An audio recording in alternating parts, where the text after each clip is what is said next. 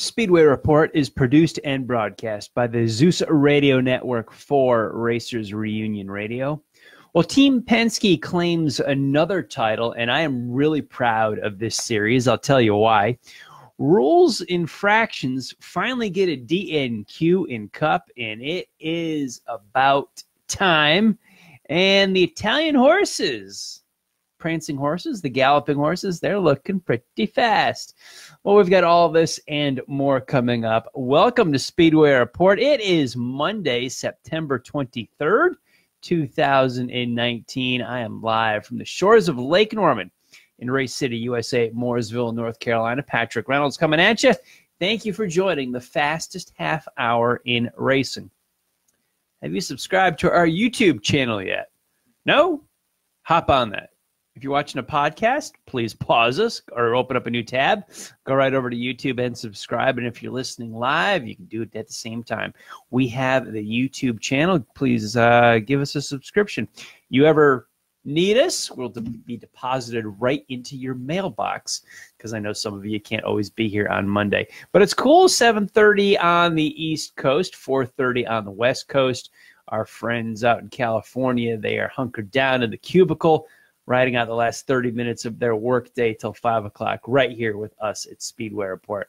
Thanks for all of you West Coasters that join us each week live. We're going to jump over to the Victory Lane lap, tell you who won what over a pretty busy fall weekend. NASCAR's Monster Energy Cup Series went 400 laps Saturday night in Richmond, Virginia. Martin Truex Jr. goes two for two in Cup Series playoffs. Xfinity raced on Saturday or Friday night and I'll correct that. Christopher Bell raced Friday night in Richmond, Virginia, because there was him and everybody else in this race uh, up in Richmond. C. Bell takes the win in the Xfinity race on Friday night. NASCAR's Whelen Modified Tour ran one of their biggest races of the year, if not the biggest, up at Loudon, New Hampshire with the Musket 250. Bobby Santos III in a substitute role with Dave Sapienza's car wound up in victory lane. As usual, an outstanding finish shootout with Doug Coby. Uh, they were side by side on the backstretch. Uh, great run, three wide for second place. Santos parks it in victory lane. NASCAR's Kids and Nephews Pro Series Tour. Uh, East was up at Loudon as well. They won by Ty Gibbs that event. Go figure. There you go uh, kids and grandkids and nephew, even with Ty Gibbs winning the race. In IndyCar, out on the West Coast, Laguna Seca, California, in Monterey, one of the most picturesque tracks, certainly in the United States, possibly the world. Gorgeous facility was won by Colton Herta yesterday afternoon. Josef Newgarden is the series champion for the second time in his career. Formula One's original night race was held in Singapore, and a great twist and turn of the Formula One power and a shifting of the scales. We're going to talk about that in a little bit. Sebastian Vettel's Ferrari winds up in victory lane. That's three straight wins for the horses. Over on the dirt, the Lucas Oil late models were in Indiana for the past weekend. On Friday night in Kokomo, their main event was taken by Tyler Erb Jr. in the big race of the weekend, the Jackson 100 in Brownstown, Indiana, won by second generation star Hudson O'Neal. Now, their cousins, the World of Outlaw late models, were up in the Northeast in Thursday night at State Line Speedway in Pennsylvania. A race was won by Max Blair. Friday night in Dundee, New York, Shane Clanton won your feature. And on Saturday in Selinsgrove Speedway in Pennsylvania, was won by Darrell Lanigan. World of Outlaw Sprints graced the Midwest with their presence with at Dodge City, Kansas. A doubleheader Friday and Saturday nights. Donny Schatz was your winner on Friday. Brad Sweet taking home the bacon on Saturday's A main. Bummer that USAC's Silver Crown tried to get their event in at Springfield, Illinois. This was rained out again. Doesn't look like there's any place on the schedule to put it. Originally scheduled for earlier during the fair, rained out. They found this date not working too well, which is a shame because I love me some Silver Crown on the mile. And one of the biggest dirt races in the Northeast this year, was the Freedom 76 at Grandview, Pennsylvania on Saturday night. This year's 76er taken by Mike Gular and a very nice $25,000 for the win for the small block mods in Pennsylvania. First thing before we want to get going, uh, John McKennedy's father passed away over the weekend. We want to, want to send our thoughts and prayers out to him. Uh, McKennedy was driving Tommy Baldwin's number seven New York car and wound up in second place at the Musket 250 at New Hampshire Motor Speedway. Uh, great shootout, great run, uh, taking Baldwin's car to second place. Santos your winner, Doug Coby in third. So they had a very talented podium. McKennedy right in the middle with Baldwin's machine and his dad, such a big supporter of his racing career, as most dads are, uh, passed away uh, recently between the checkered flag then and our show now. So, John McKennedy, our thoughts are with you, my friend. Sorry to hear about this as the Northeast Modified family uh, gets hit again with the loss of Mike Stefanik and Bob Potter last week. And John McKennedy's dad leaves us too soon. So, deep thoughts and prayers continue to go out to the modified faithful up in the Northeast.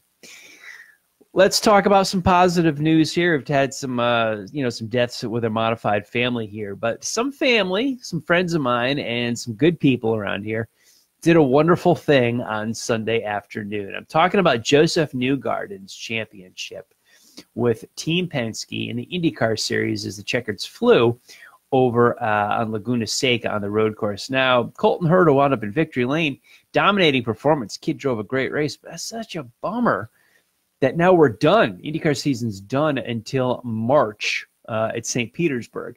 It just seems like a long, long, long way off because it is. However, let's talk about Newgarden and his title.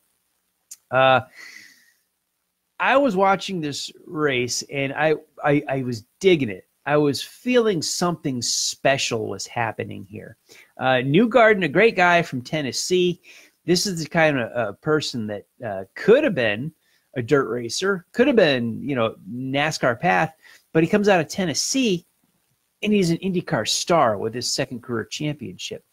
These are the type of folks that IndyCar should put such a big push on with the misconception of too many foreigners or complain about, you know, where's the Americans? Well, you got one. You've got a two time title winner in Josef Newgarden. And the racing is good in the series.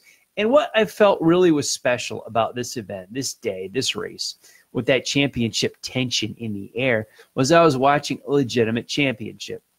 Now I'll reflect this and mirror it to all the to NASCAR's punchline that I've seen for so many years now, uh, since 2004, and how I just can't get into it, can't enjoy it. I try get driven further and further away. IndyCar has held strong to their roots, and God bless them. They crowned a legitimate champion on Sunday with Josef Newgarden. Now, he, granted, he drove for Team Penske, which is a powerhouse. You've got, you know, pretty much Penske, Ganassi, and Andretti. I guess Schmidt Peterson too, but they're like a step behind the, the big three there. Penske is certainly a favorite for the title every single year, but I love the point system still a major league automobile series here in America. We start counting at the first race of the season. We stop counting at the last race of the season. Driver with the most points is the champion. Simple, effective, and real.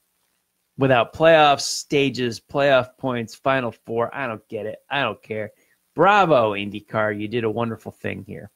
Now, a good friend of mine, Will Schneider, uh, works on uh, Newgarden's team. He's been an employee with Penske for a while now.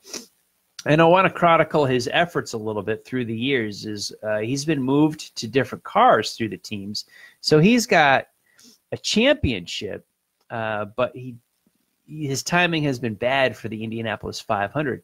He worked on Will Power's car, uh, then got moved to Simon Pagenaud's car.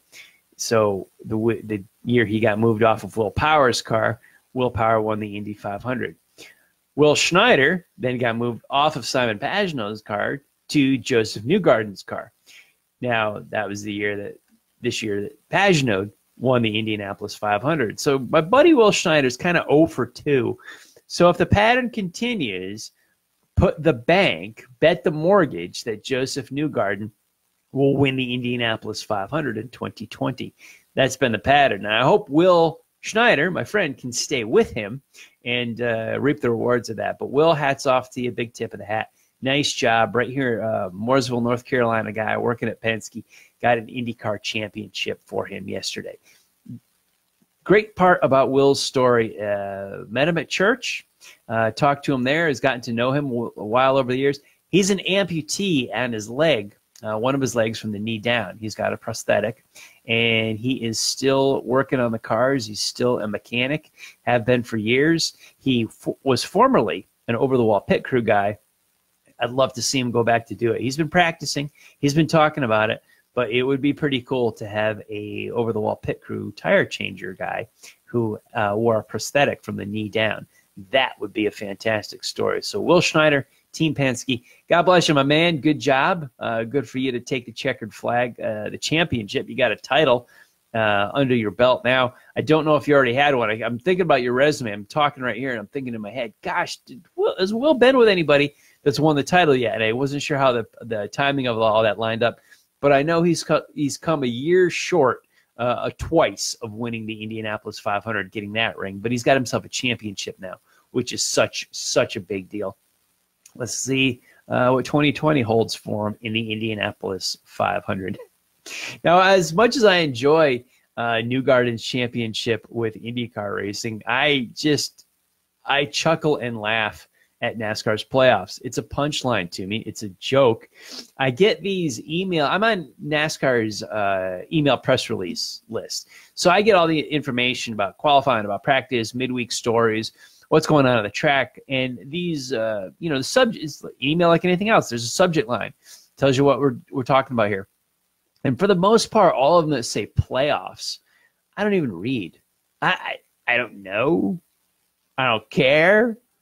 I don't get it. I you know I just like playoffs. Come on. I, I'm watching a legitimate title for the IndyCar ride this playoff stuff, I don't, you know, stage points, ah, blah. I don't know. I don't care. I'm laughing. I literally laugh out loud. I, I find it hard to follow. I, I don't care. It's like, God, you have destroyed the sport, guys. So mad. Please turn it back. Please fix it back to a better sport and a legitimate title. Makes me a bigger and bigger fan of IndyCar racing all the time. I, I just can't do it. No, I'm gonna at Bash Cup all the time. Let's give them some love. Let's let's take the Monster Energy Cup Series and give them some love. Now, I like Erik Jones just fine, so I don't wish him any harm. However, it is good to have a car not pass tech inspection and have them disqualified. That's fine. That's how it should have been. My question is, what the hell took so long? Why have we been jerking around for this for decades? We take away points, we take away money. It doesn't work. If the car does not pass post race tech, bingo, they get uh, they get disqualified. Now, uh, Erik Jones kind of broke up. This Gibbs still had a great run. Joe Gibbs Racing finished one, two, three, four with Jones in the fourth spot. So even with his disqualification, they took the podium with the top three, which is fantastic. And it was the rear toe on the car that uh, caused them to not pass tech and be tossed out for the evening. This is a big deal. We used to push this to the max all the time uh, when I was working on teams with the rear end alignment uh, both the toe and the skew of the rear end. There was uh, measurements of this body and what kind of angles and all that. They got systems now. As I've been removed from a NASCAR shop for 11 years, so things have changed dramatically, exponentially, since I've been a hands-on guy with these teams. Uh, so how they measure them, I've seen it. I just don't have experience with a hands-on, with the laser, laser measurements and the uh, the system that they have and there's not there's leeway, there's grace, and then there's a go no go.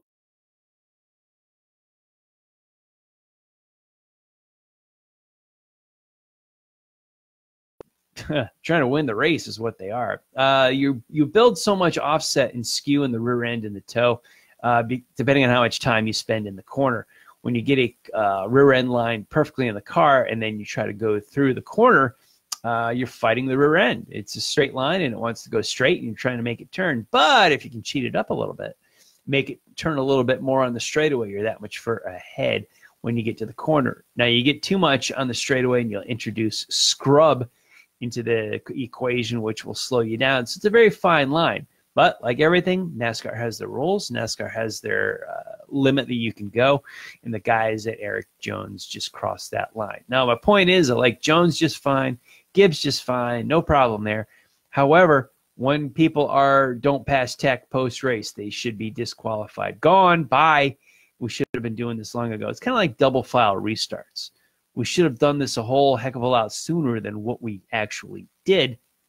I don't know why we didn't. Um, but this is good. Uh, have a guy not pass tech disqualified. Erik Jones, big fan. Saw him run late models, uh, go that far back with him, and he's a good dude. Uh, but just don't wish him harm. Don't wish him bad. But NASCAR, your playoffs suck. But the fact that you're disqualifying guys that don't pass tech is really good. So I'll give you some love there. Uh, speaking of NASCAR, we'll take from NASCAR Cup. We'll jump to the modifieds. Is there a better ticket in all of auto racing? Or should I say this? Is there a more consistently good ticket in all of auto racing than modifieds on the New Hampshire mile? You know every time you are going to get a very, very good race. Great race, exceptional race. That track was almost, it, it, that's magic. The nickname for the track is the Magic Mile with modifieds, it is absolute magic. If you've never seen a modified race at New Hampshire, that is the race to go to as far as quality of racing, of passing, of excitement. There's nothing better. Now, I've heard some debate if to, uh, the 250 laps on the mile uh, was too long.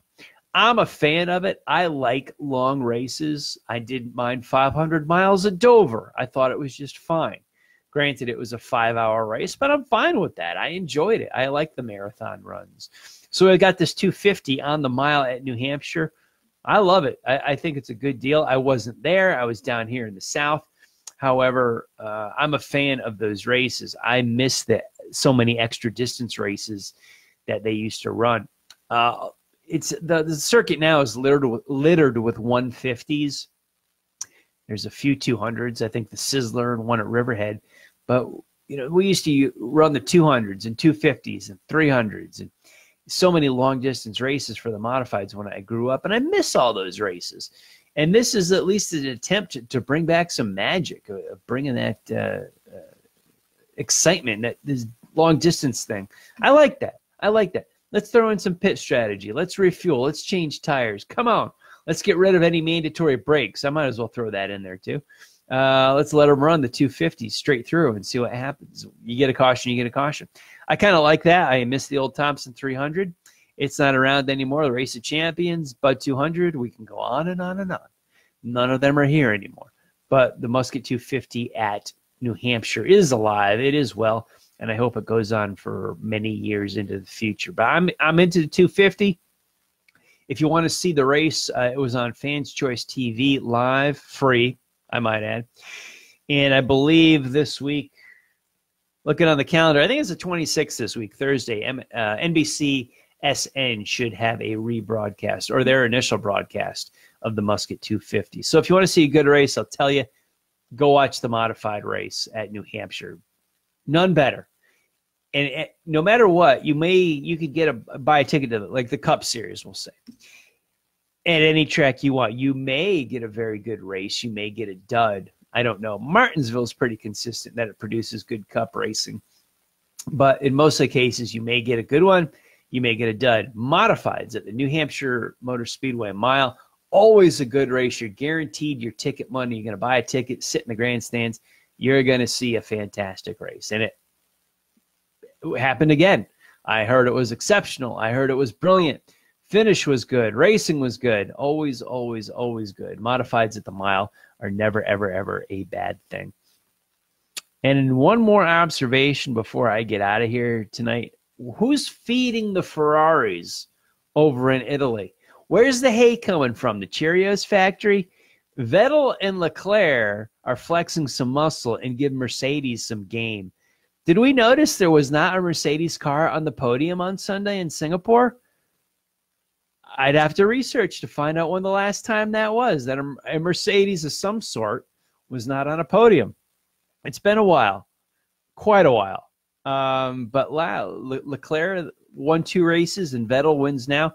They've stood atop the podium for three races in a row.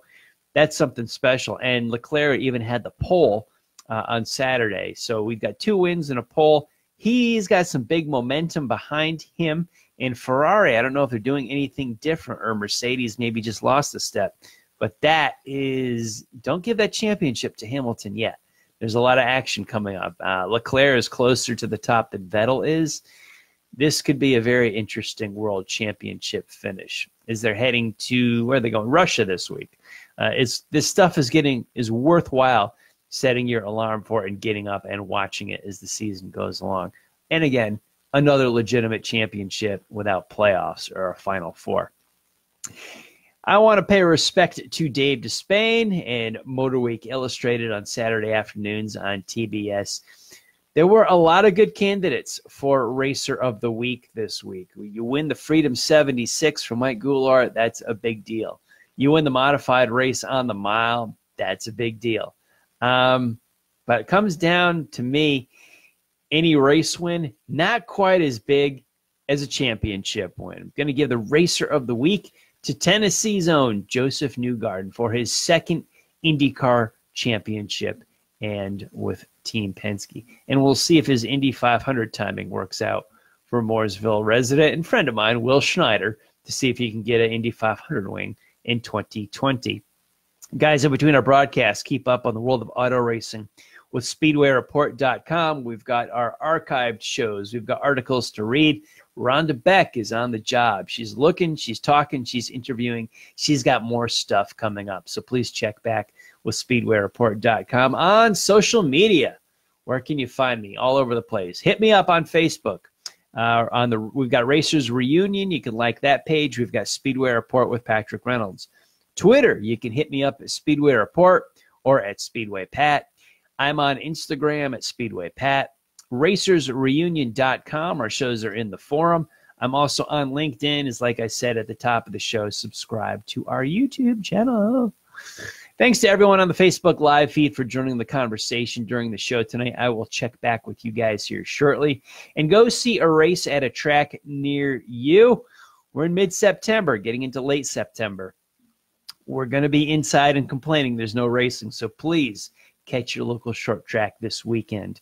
I want to thank all of the military, past and present, for the freedoms we enjoy as Americans in our daily life, including the simple things like bench racing right here on a Monday night. Freedom is not free, and a veteran paid that bill for us. To all of the men and women who are defending freedom and watching Speedway Report, take care of yourselves and come home soon. A special salute to the teachers, school staff, firefighters, police officers, and paramedics in our own communities. They are quiet and modest heroes every single day. God bless and thank you. You have been watching Speedway Report from the shores of Lake Norman in Race City, USA, Mooresville, North Carolina. Please like our Facebook page, Speedway Report with Patrick Reynolds, and you can follow me on Twitter at Speedway Pat. Now, if you are on Facebook right now live, head on over to the Drag Racing List page because Drag List Live is coming up next at the top of the hour in just a few minutes. Bill, John, and Barb got you covered in the straight line formation. We'll be back live here on Facebook next week, Monday, September 30th. We will look at the Four Crown Nationals at Eldora, Charlotte's Roval weekend, the NHRA at Gateway, and a whole bunch of short track racing.